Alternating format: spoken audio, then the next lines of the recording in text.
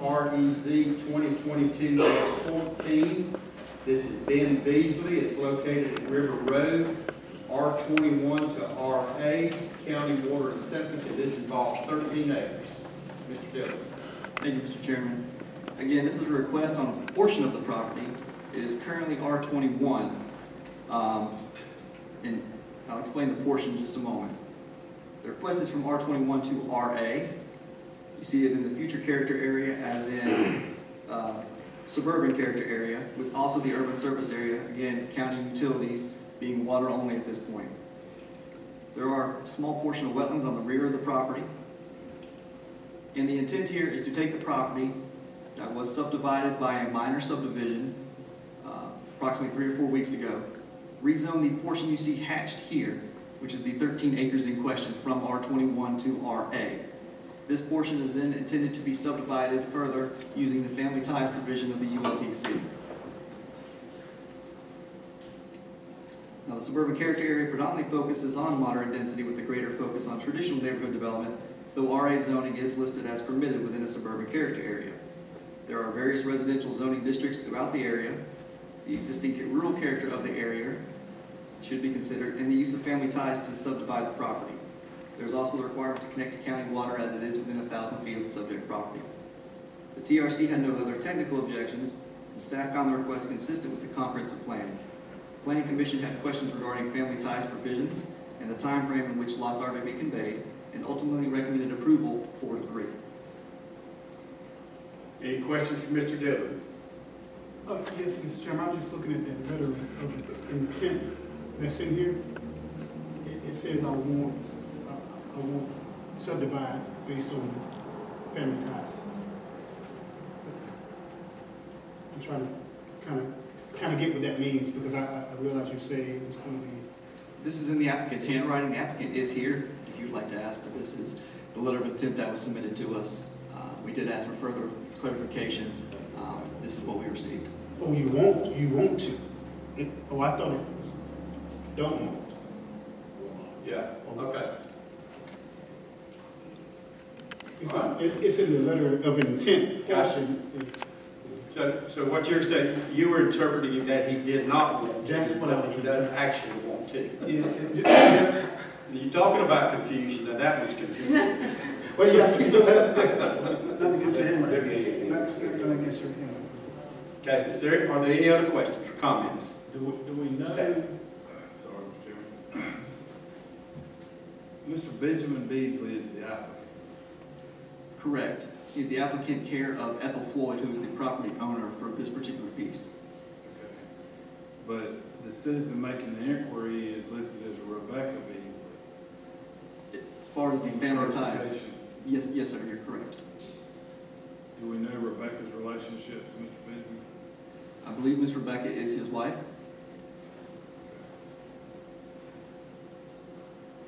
Okay, I- Any other questions? I still have questions, but I'd like to hear from them. Okay, And I guess that's why I asked, because I, I saw that official certification, but then I seen that handwritten. okay, well, maybe we can get some of that cleared up in just a few minutes. All right, we'll move into the public hearing portion of the meeting. Is there anyone in the audience that would like to speak in opposition to this request? Anyone that would like to speak in opposition? It's, it's a. In opposition to? If you are, please come forward and state your name and address for the record, please.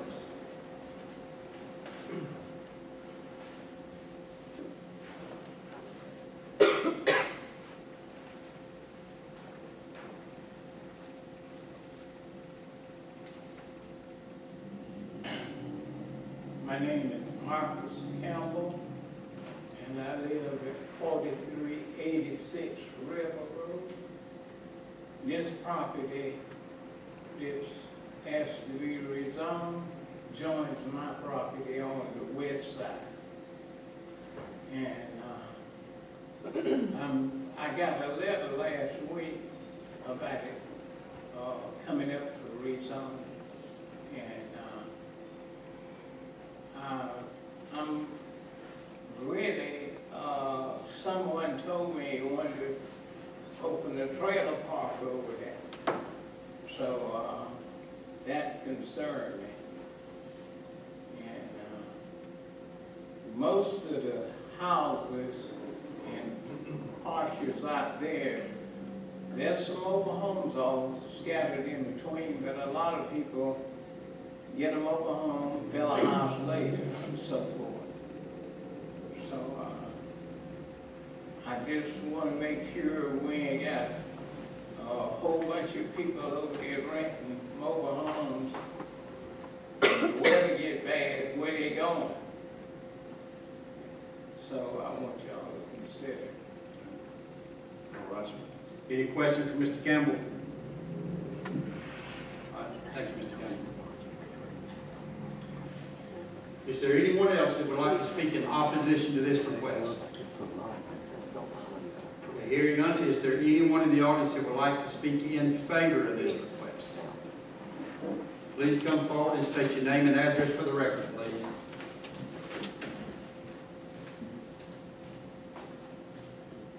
Benjamin Beasley, forty-eight thirteen Springbrook Drive, um, Hahira, Georgia. Um, I am Miss Rebecca's husband and happy to answer any of y'all's questions. These lots are being subdivided for, uh, my wife's children that she is the direct granddaughter of Miss Floyd. And right now, these children are very young and we do not want to give them full rein. So the lots are gonna go to my wife, and when she sees that the children ain't gonna, you know, do crazy stuff, then she'll give them over to, to them. But at this time, we would like these lots just to go, we ain't gonna start in a trailer park, we ain't, do- we ain't, we ain't doing none of that. So right now, we just want these lots to be subdivided for the grandchildren. So, but first, they're gonna go to my wife, Rebecca. Okay, maybe that clears up a little bit of it then, from that standpoint. We, we want to subdivide them, we, you know, I don't know where that confusion come in at, but we want to, you know, just do a few lots. Okay. How, how old, how old are the kids now? Uh, twenty-two, two twenty-year-olds and a sixteen-year-old. Because understand, if I might, Mr. Beasley, is that, you know, the confusion and all, is certain family ties is utilized in the county for just that. Right. It's not to be utilized for a process to circumvent the subdivision regulations. Definitely. So we're a little bit cautious when we have something such as this. Uh, as, as the previous speaker would said, I mean, you know, when you subdivide property and you do it with family ties, um, then we expect it to be family. Right. Yeah. Well, it's family, hundred percent. Any other questions? All right, thank you, sir. Is there anyone else in the audience that would like to speak in favor of this request? Okay, hearing none, we'll close the public hearing portion of the meeting, and I'll turn it back over to the commissioner for your consideration.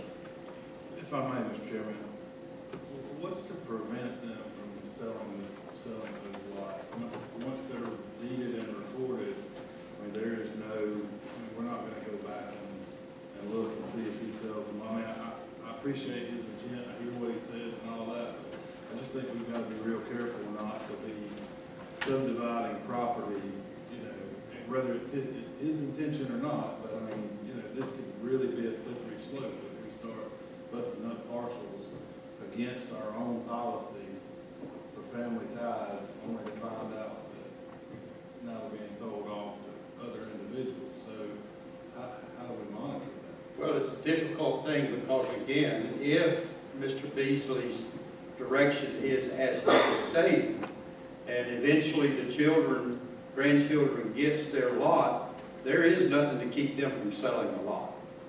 I mean, uh, the, the purpose of what we're doing is what's before us right now, and you have to take that into consideration of, of whether or not the, um, the family ties is applicable that works for this purpose of subdivision right now. I mean, it's just unusual because usually we have a, a parent that comes in and says, hey, you know, this is for my son Max and this is for my daughter Maxine and, you know, it's kind of cut and dry.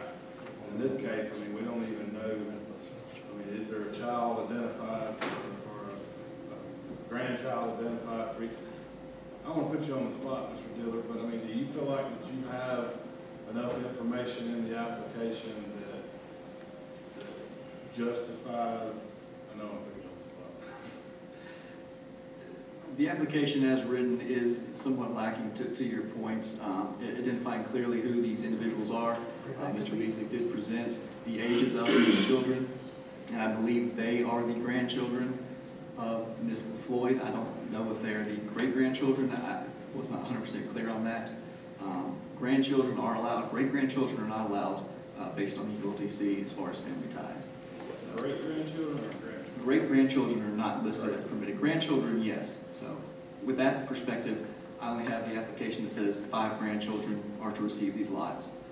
And, and that's all I have the information to go off of. Mr. Mr. Mayor, I'm sorry, go ahead. also, if we rezone this way and and split lots up this way, they're not required to hook on the water and sewer for the ULDC, correct?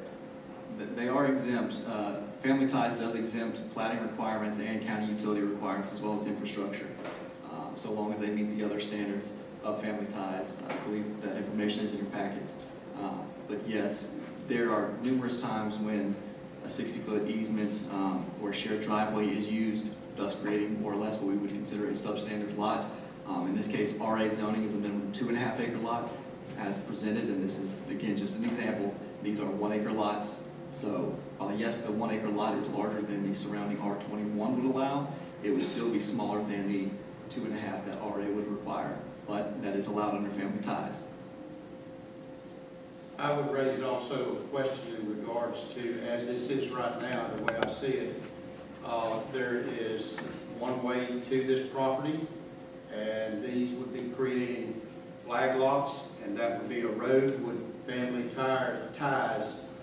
Would, how would our road regulations on subdivisions tie into this as well? This is one of the exemptions within family ties as far as roads being a sixty-foot road frontage and a common shared driveway. Um, So again, to Commissioner Orenstein's concern of selling after the fact, yes, if you have a shared driveway and you have a lot that is some sort of dispute between any future owner, it could create a uh, possibility or hardship for someone else, um, county included as far as if infrastructure was to be paved after the fact. So the egress and ingress would be considered as a driveway, not a road to service these subdivided lots. So basically, they'll be in a private road. I'm sorry? They Basically, they'll be in a private road. Yes. Yeah. Technically, I mean, if if you, if you really want to get into it, technically, that whole piece of property, if you look there, that whole strip coming down is owned by the seven point nine oh four. So whoever lives on that lot actually has ownership of that property running all the way out to River Road, and those other lots are landlocked. Well, they'd would have to have an access, Yeah, they'd have to an easement. But I'm just saying, if if it were recorded under this. Sure, area, yeah. Then you've got landlocked lots. Sure. But, and I will say at the same time, I mean, it's our rule, I mean, we have a family tie, ties rule, that's, Right. you know, I know we're, we're looking into. So I, you know, in his defense too, I wanna be careful that, that we don't speculate and make assumptions and go against our own policy. Is this something that also possibly, could possibly could be taken care of with a will? Well, I think even with that, it still is going to require the subdivision of the property if they're going to put Eventually. it that way, it's still going to it- it didn't that. make an official plat, but I was just thinking along, if, if the goal is to leave to the kids, uh, leave it to in a will.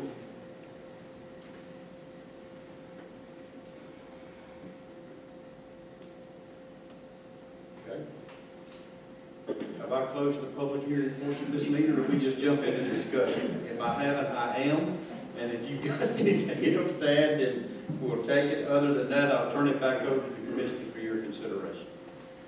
Mr. Chairman, seeing that, uh, I don't feel we have no valid reason to deny this, I recommend approval. Okay, we have a motion to approve. Do we have a second? Motion fails for a lack of second. I'll consider another motion. Motion to deny. We have a motion to deny. Do I have a second? Second. I have a second.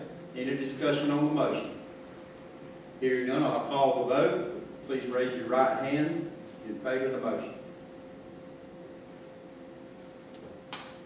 All right, that's three. And we have five, so then the motion carries.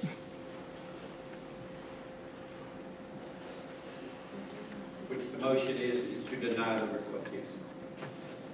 Okay, we'll move on